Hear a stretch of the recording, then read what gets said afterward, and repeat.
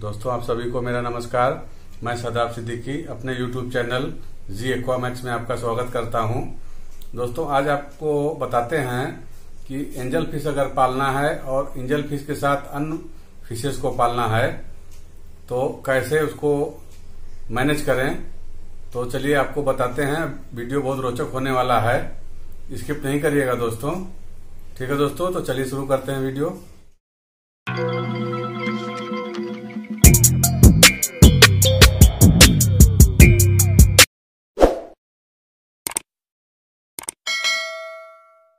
देख सकते हैं दोस्तों, आप, हमने टैंक में एंजल के साथ दूसरी फ़िश को भी रखा है। आप देख पा रहे होंगे दोस्तों, उस, और कोई किसी को चोट नहीं पहुँचा रहा, हानि नहीं पहुँचा रहा है।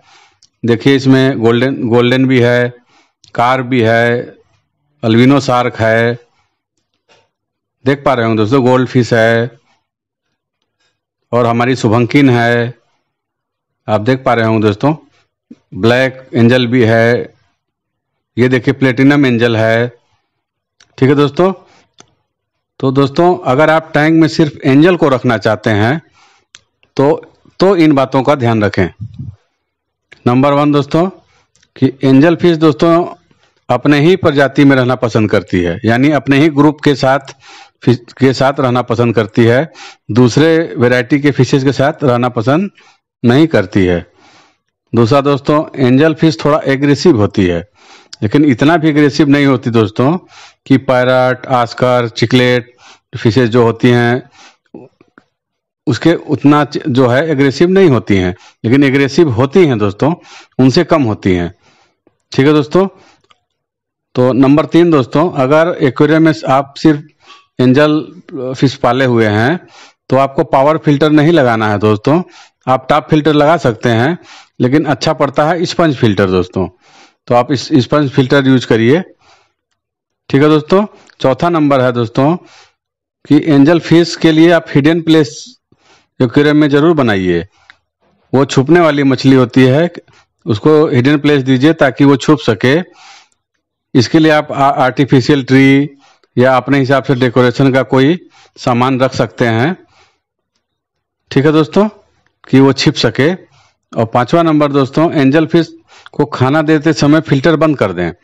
चाहे वो स्पंज फ़िल्टर हो, चाहे जो भी फ़िल्टर आप लगाए हो उसको बंद कर दें कि वो आराम से खा सके। और ज़्यादा खाना भी मत डालिए, क्योंकि ज़्यादा दाना नहीं खाती वो। दो तीन दाना खा के उसका पेट भर जाता है। और छोटे दाने वाला दोस्तों, आप, लीजिए, ऑप्टिमम का छोटे दाने वाला पैकेट आता है, फ़ूड, वो आप जो है यूज़ कर सकते हैं दोस्तों। जिसको बेटा फ़िश को खिलाया जाता है, वो वाला आप ले सकते हैं। और सातवां नंबर दोस्तों, एंजल फ़िश दोस्तों जो होती है, एकदम साफ़ पानी की मछली होती है। जैसे मरीन फ़िश होती है दोस्तों, उस टाइप की फ़िश होती है, एंजल फ़िश एकदम साफ़ पानी में और शांत पानी में दोस्तों रहना पसंद करती है। इसलिए फ़िल्टर मीडिया पे ध्यान दीजिए। यानी फ़िल्टर आप बढ़िया क्वालिटी का लगाइए, या टॉप फ़िल्टर लगाइए, या स्पंज फ़िल्टर लगाइए। ठीक है दोस्तों? और पानी जो है थर्टी परसेंट आप चेंज करते रहिए टाइम टू टाइम। और दोस्तों, आठवां है, एंजल फ़िश को ज़्यादा लाइट पसंद नहीं होती दोस्तों।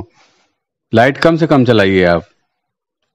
चार घंटा, पाँच घंटा चलाइए, फिर उसको नॉर्मल लाइट पर रखिए और या तो कम रोशनी वाली लाइट जला दीजिए। वो ज़्यादा लाइट पसंद नहीं करती है। छुपने वाली मछली है, थोड़ा अंधेरा, उसको ज़्यादा लाइक होता है। ठीक है दोस्तों?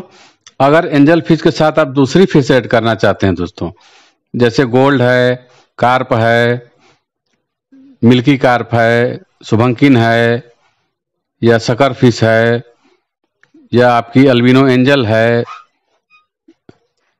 ठीक है दोस्तों, या रेड कैप है तो दोस्तों, आप सबसे पहले एंजल फ़िश को उसमें ना डालें।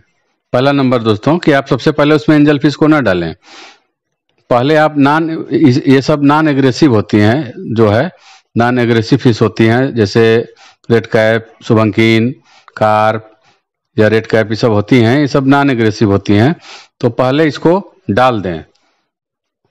उसके बाद, एंजल की जो टैंक मेट मछली है, जैसे गोल्ड फिशेज कार्प सार sucker fish shark red cap shubunkin Tim फ़ाइल बार इसको डालें दोस्तों। चौथा, दोस्तों जब टैंक मेट फ़िश फिशेज आप उसमें डाल दें तो उसके एक या दो दिन बाद ही उसमें एंजल फ़ीड ऐड करें। और ज़्यादा संख्या में ऐड ना करें दोस्तों। और जो फिशेज आप पहले से नॉन एग्रेसिव वाली रखे हुए हैं, उससे छोटे ही रखिए उसको। और दो ही तीन रखिए, ज़्यादा मत रखिए, नहीं तो वो ग्रुप बना के फिन कट करने लगेंगी गोल्ड फ़िश का या सोभंगिन का या आपका रेड कैप का। छठवां दोस्तों शार्क फ़िश, टिम्फाइल बार या कार्प ज़्यादा बड़ी नहीं रखिए क्योंकि ये फास्ट होती हैं और एंजल फ़िश ज़्यादा पानी का हलचल नहीं बर्दाश्त कर पाती दोस्तों।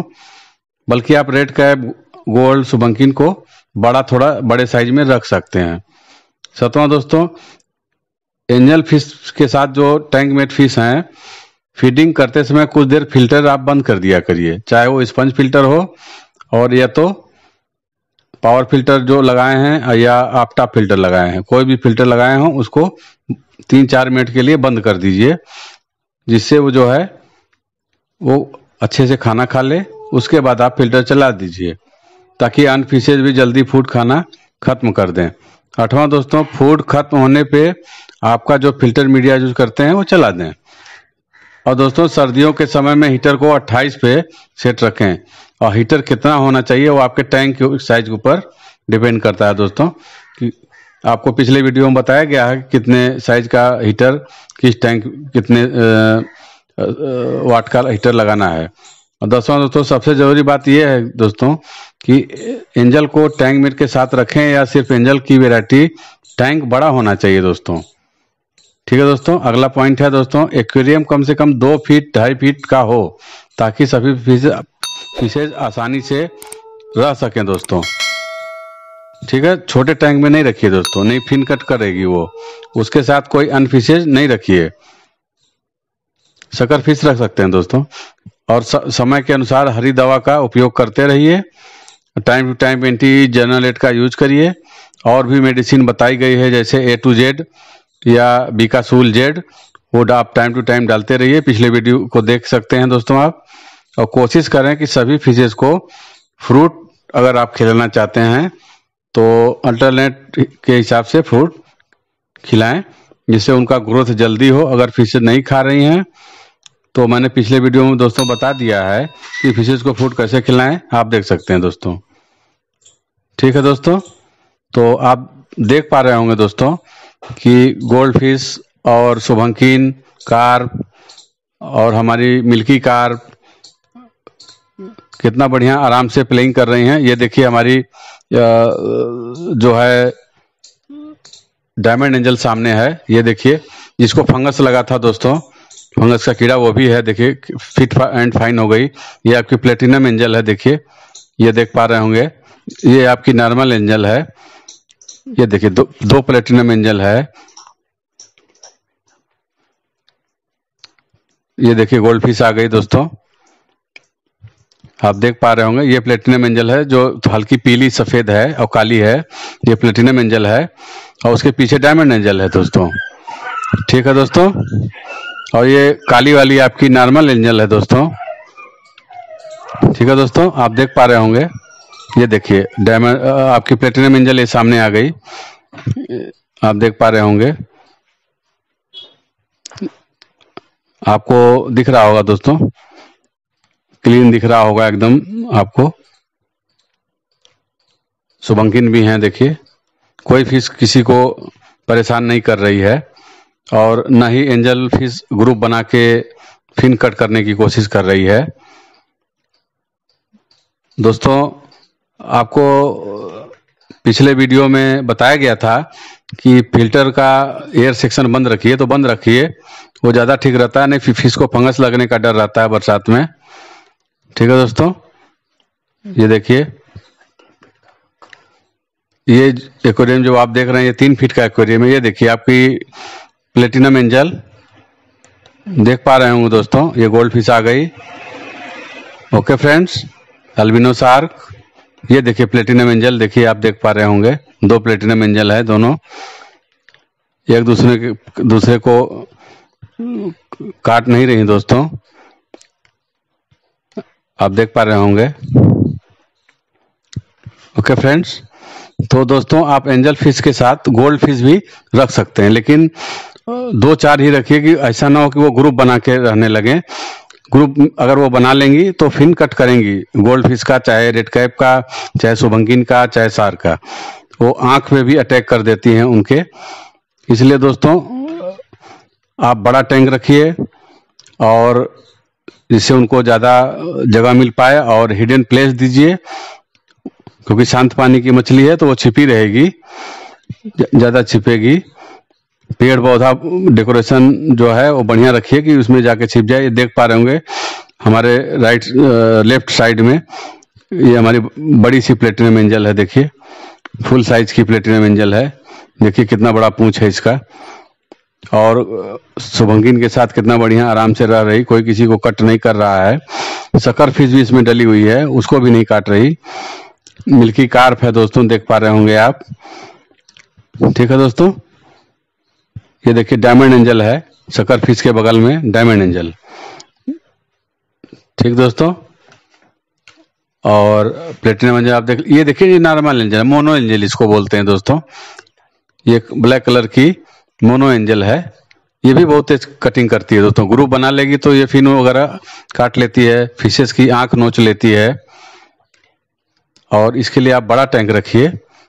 कम से कम ढाई तीन फीट का टैंक रखिए, फ़िल्टर मीडिया बढ़िया रखिए, और कोशिश करिए कि टॉप फ़िल्टर लगाएँ। और दोस्तों, या तो फिर इस, अगर टॉप फ़िल्टर नहीं लगा पा रहे हैं तो स्पंज फ़िल्टर यूज़ करिए। पावर फ़िल्टर से इन लोग का फिन टूट जाता है। ठीक है दोस्तों? फिन टूट जाता है तो फिर खराब दिखने लगती हैं। जानकारी आपको कैसी लगी? कमेंट बॉक्स में ज़रूर बताइए। जानकारी बहुत रोचक थी। दोस्तों, मेरे वीडियो को लाइक करिए और कमेंट बॉक्स में कमेंट करिए। और दोस्तों, जो सब्सक्राइब न किया हो सब्सक्राइब कर ले। और जो नया देख रहा है, वो भी सब्सक्राइब कर ले। ठीक है दोस्तों? जानकारी बहुत रोचक थी। तो दोस्तों, वीडियो को विराम देते हैं। जय हिंद दोस्तों, जय हिंद।